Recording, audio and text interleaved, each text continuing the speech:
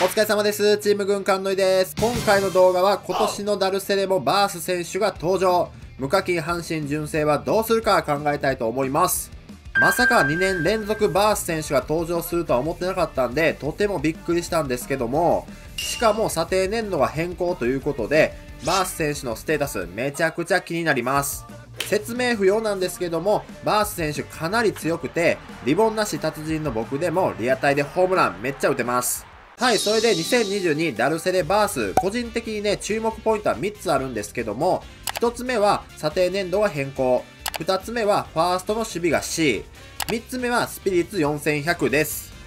1つ目の査定年度変更なんですけども、1985年の成績で登場します。以前のバース選手は1986年の成績なんですけども、打率が3割8分9厘、ホームラン47本、109打点と、これね、めちゃくちゃすごい成績なんですけども、1985年は阪神が日本一になった年なんですよね。僕はね、まだ生まれてませんけども、その年は打率が3割5分、ホームラン54本、134打点と、めっちゃエグい成績ですね。個人的にバース選手といえばホームラン54本打ったこの成績のイメージかなと思うんですけども、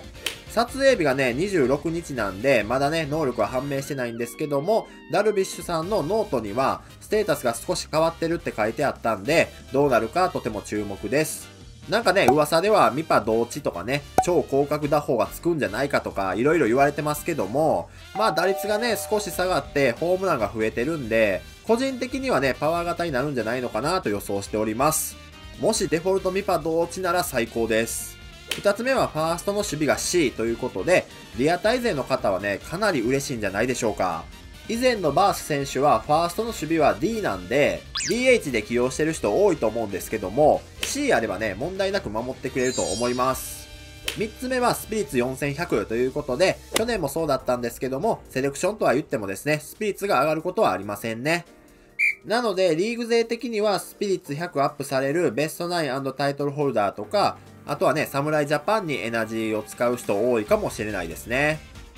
それでは無課金阪神純正はどうすべきか考えていきたいと思うんですけども、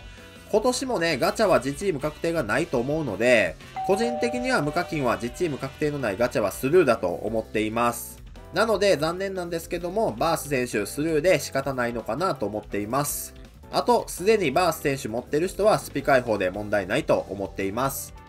デフォルトミパ同値ならちょっと欲しいなって思っちゃうんですけども、自チーム確定のないガチャはね、リスクが高いんで、あまりおすすめはできないですね。ただ、バース選手持ってない人はどうしても欲しいと思うので、特にリアタイ勢の方ですよね。しかも査定年度が変更で守備が上がっているバース選手なんで、簡単にスルーはできない選手かなと思います。なので、どうしてもバース選手欲しいよっていう人は、現在のエナジー数で決めるのがいいのかなと思ってまして、もしガチャするんであれば、エナジー3500は必要かなと思ってるので、セレクトミキサーは今年も5人でできると考えて、今年も累計で S ランク契約書はもらえると思うので、正月福袋50連で1人は必ず獲得できるのと、ダルセレガチャ90連で3人は獲得できるんで、140連で4人、それと累計でセレクトミキサーできると思います。もちろん運が良ければセレクトミキサーする前に累計やガチャで獲得する可能性はありますけども、最大3500エナジーで獲得することができます。ただ3500エナジーってね、かなり大きい数字なんで、今後のガチャがね、できなくなるかもしれないですし、個人的には自チーム確定のないガチャはスルー。あとね、どうしても欲しい人も3500エナジーない人はスルーがいいと思っています。あとはね、もう皆さんの考え方次第なのかなと思うので、バース選手どうしても欲しいならリスクを負ってガチャするのもありだし、手堅くダルセレはスルーするか。ファーストにはオマリー選手が登場したばかりなんですよね。あとはね、大山選手もいるし、マルテ選手もいるし、TS 片岡選手もいるし、皆さんの意見もね、ぜひ教えていただけたらなと思います。あとはね、もう楽しんだもの勝ちなんで、査定年度1985年のバース選手は次いつ登場するかわからないんで、思い切って課金しちゃうっていうのもね、ありなのかなと思ってて、まあこのチャンネルね、無課金阪神純正でプレイしてるんで、課金をおすすめするっていうのはね、ちょっと複雑なんですけども、まあそれぐらい貴重な選手になるかもしれないですね。バース選手はね、2年連続セレクションで登場しましたし、今後もね、強い選手っていうのはセレクションで登場する可能性が高いので、無課金も選手次第ではセレクションガチャに挑戦することが増えると思いますし、無課金を卒業する方もね、多くなるかもしれませんけども、引き続きプロスピね、楽しんでやっていけたらなと思っております。ちなみに僕はダルセレスルーの予定です。すでにスピ解放しちゃってるのと、あとね、このバース選手僕ね、累計で獲得できたんでね、ちょっとね、愛着があると言いますか、はい、スピ解放もね、何度もしてますし、大事に使っていこうと思ってるんで、ダルセレはね、スルーなんですけども、ただデフォルトミパ A 同値ならリーグ的にかなりありがたいのでガチャしようかなと思っています。個人的にはね、イベントで A ランクがあるのかないのか、そこがね、注目なんですけども、またね、ガチャする場合はですね、動画にすると思いますので、見ていただけたらなと思います。今年のダルビッシュ OB セレクションのね、感想とかぜひコメント欄で教えていただけたら嬉しいです。ありがとうございました。それでは最後に契約書を引いて終わりたいと思います。まずはね、ゴールド契約書10連からやりたいと思います。さあやっていこう。S ランクが欲しいんですけど、どうなるか見ていきたいと思います。いやー、ちょっとね、オマリー選手の特集をね、終わらせたことで B ランクが全然ないんで、B ランクでも嬉しいんだけど、S 来たらどう？ああ